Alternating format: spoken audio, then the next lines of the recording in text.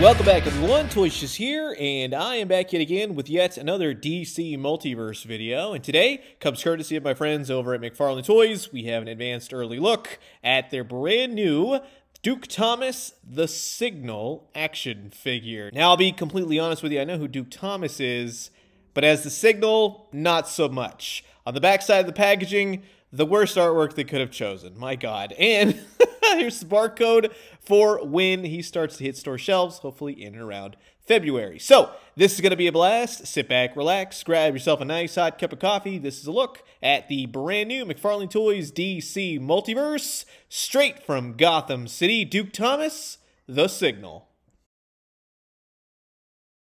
And while I got all you Bat family members here, I just want to say thanks so much for always checking out my YouTube videos. If you haven't already, please do consider subscribing. Old toys, new toys, daily news updates. Guarantee you'll find something here that you like. So, here is Duke Thomas, aka The Signal, all out of the packaging. And it's a pretty stellar figure. I gotta give it to him. It's impressive. Now, first and foremost, he comes with a pair of accessories.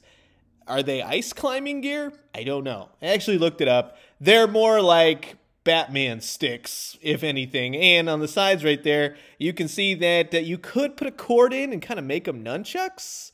I really wish McFarlane Toys would have done that, but it is close enough to the source material. They usually are two piece, or you can put them together. It's your choice. It is a bit old fashioned though. Putting a string in between your weapons for a Batman figure, having Batman glide down. Yeah, it totally reminds me of the Kenner days. Although it would have been cool if these could somehow have attached Either way, they're two cool weapons, and he does hold them nice. Now, in looking at this character, first and foremost, it kind of reminds me of something from Frank Miller, and then I was like, oh, it's kind of like Mark Millar's and John Romita Jr.'s kick ass, right? Just a little bit in the costume, but it is pretty dang accurate to the comic book source material. My bat signal, unfortunately, one of the ears is kind of messed up. It's not too noticeable, but it's there, and it's all I see now. The head portrait is pretty fantastic. This is a nice attention to detail. It just shows me that whoever worked on this figure knows their stuff, and the articulation matches to boot. It's pretty darn good with all the added hidden articulation. Now, not to say he doesn't have pins, but it's less noticeable, except on the back. He gets real gappy right there, but it's on the back. Who cares? And look at all the lines match up and everything else. He's got, yeah, they, they got to work on the ab crunch, right? We got to do that. The waist swivel. Now, this is a good example of the quote unquote diaper working for a figure because it melds into the costume. He's got double jointed knees, he's got really nice texture, the boots, everything works on this figure. It's overall a nicely articulated figure, and I'm very happy with it, even though I couldn't tell you much about Duke Thomas as the signal. He's a metahuman now. He's joined forces with Batman. It's just another Batman guy running around. And uh, yeah, he likes the Batman signal enough to be named after it, apparently. And in terms of the scalature for the signal, depending on which Batman you want to use, I mean, he's short enough to at least scale with most of the Batmans in McFarlane's DC multiverse. When it comes to the Hush Batmans, I mean, I would say that those are probably more in the realm of the correct scale. I see Batman always, he's the tallest one out of all of them.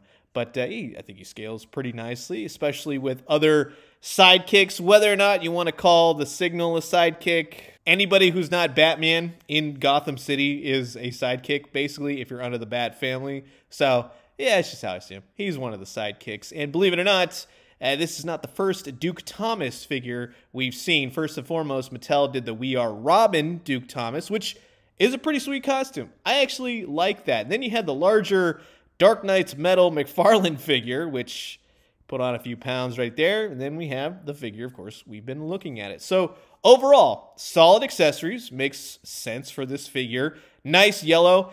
There's not a whole heck of a lot of paint on him, but for what's there, it's nice and crisp. The sculpt is there.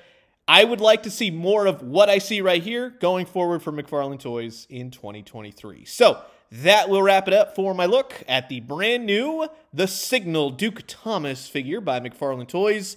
And again, thank you to McFarlane for sending this out early for the purposes of showing him off. And you've heard my thoughts. Now I'm curious to know yours. Comment below. Let me know. Let's talk everything DC Multiverse. And I'm going to leave you guys with that. As always, drink some great coffee, eat some great food, but most importantly, remember, you got to think, it started off as Batman and Robin. Then we got Batman, Robin, Nightwing. We got Batgirl, we got Batwoman, we got Red Hood, Stephanie Brown, Signal. It's too many Bat family members. I'm just saying. And when they do, let me know what you found. I'll talk to you guys soon. Adios.